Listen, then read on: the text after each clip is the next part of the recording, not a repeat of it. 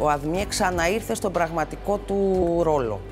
Στο δημόσιο χαρακτήρα του να προσφέρει ποιοτικές, φθηνές υπηρεσίες σε όλους τους καταναλωτές, σε όλη τη χώρα να βοηθάει την υποδομή της.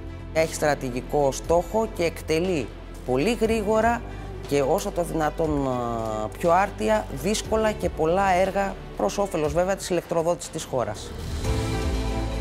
Λέγομαι Φλόρα Παπαδέδε, είμαι Διευθύντρια Κλάδου Ηλεκτρονικών Προμηθειών στη Διεύθυνση Εφοδιαστικής Αλυσίδας του ΑΔΜΙΕ.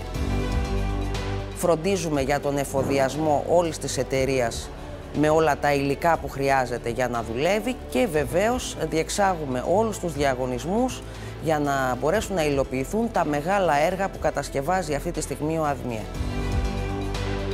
Μία από τις καινοτομίες που εφαρμόζουμε πλέον είναι η χρήση ηλεκτρονικών συστημάτων διαγωνισμών αλλά και κυρίως πληστηριασμών.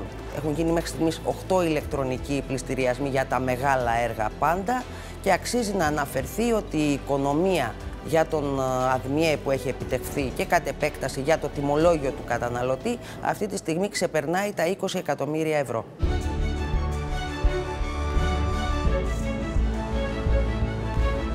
Η μεγαλύτερη πρόκληση αυτή τη στιγμή είναι η διασύνδεση της Κρήτης.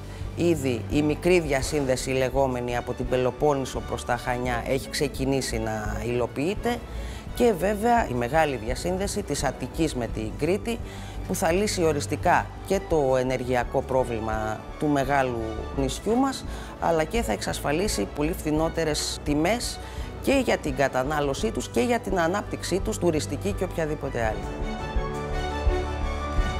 Jesus.